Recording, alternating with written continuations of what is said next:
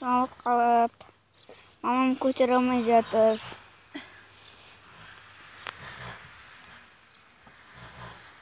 жүр жүр кіріңдер жаңызде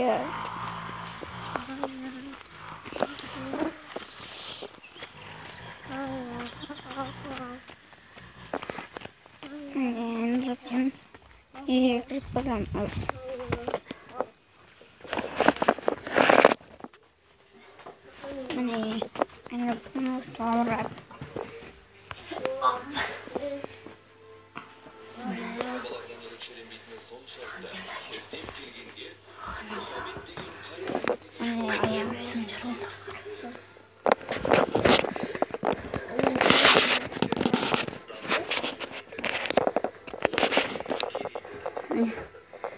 айнұрға өзі далада ойнап жүр.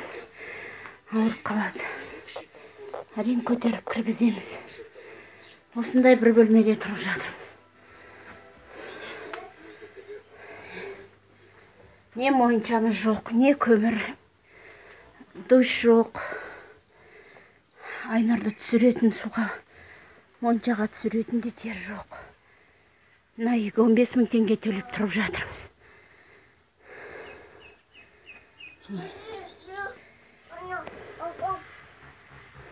Жалғыз туалетінен басқа ештеңкесі жоқ.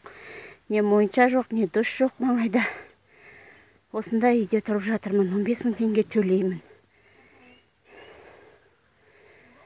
Бес кішкентайым бар.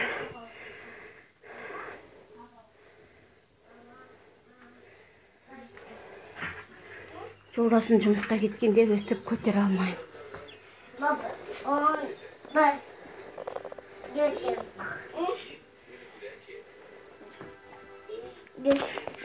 Достар сәлеметсіздер ме қалдарыңыз қалай мен жаңа ғана инстаграмдағы жеке парақшама сәуле апайдың жағдайы жайлы видео жарияладым.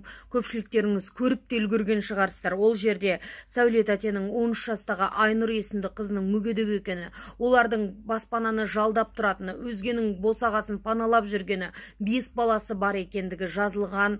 Достар бұл кісіге қалайша көмектесерімізді шынымды айтсам өзім де білмеймін. Бірақ қарап отырсам менің инстаграм парақшамда он мыңнан аса жазылушы бар екен. Егер біз әр қайсымыз мың теңгеден салатын болсақ он мың теңге ақша жиналады екен. Қарап тұрсаң сол мың теңге біздің дүкенге ә, бір барып келгенде ә, дені дұрыс ә, тағамда ас алмайтын ақшаның құны ғой қазір мың теңгенің құны да жоқ өздеріңіз білесіздер. Ал біз осылай егерде жұмылып бір адамға үй алып берсек ойлаңыздаршы ол үлкен бір сауапты іс болар еді. Сіздер мені қолдайды деген ойдамын.